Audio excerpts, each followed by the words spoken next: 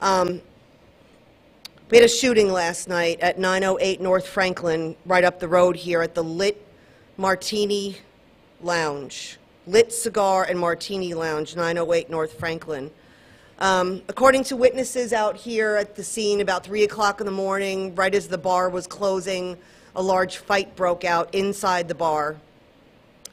Suspect left the bar, apparently armed himself, came back. The fight ended up um, spilling out into the streets, and we have seven people shot outside last night, one of them fatally. The deceased victim is a resident of California who was here visiting the area for a wedding. The other six people are in stable condition at multiple Tampa Bay area hospitals.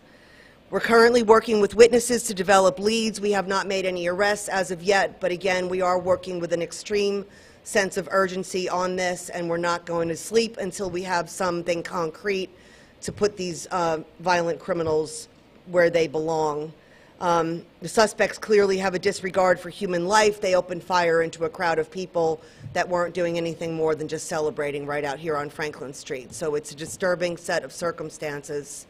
Um, I don't have a lot of details, unfortunately, but I felt it was important for the people in the downtown area to know that there is no imminent threat of danger right now. This was an isolated fight that happened in the bar. There are people um, at local area hospitals. There was one deceased, one fatality, and again, we're working on leads as quickly as we can to identify who was responsible for this. Right now, we have one that we know of, but there may be two. We're not, I, I don't have those exact details. I wish I had more for you, but I don't. You don't know if like one or multiple shooters? I don't.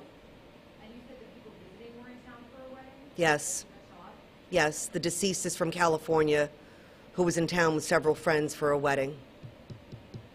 Were they involved in the bar? In the altercation, we're still working through that.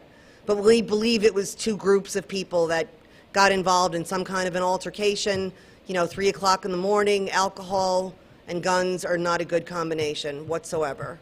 But again, we're working as, as quickly as we can to identify leads. I just want the public to know that there's no imminent threat. We are, we, the scene is secure.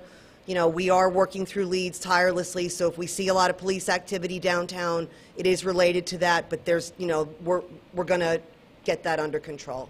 You know how many shots were fired in total? I don't. Last question? Thank you, Chief. Thank you.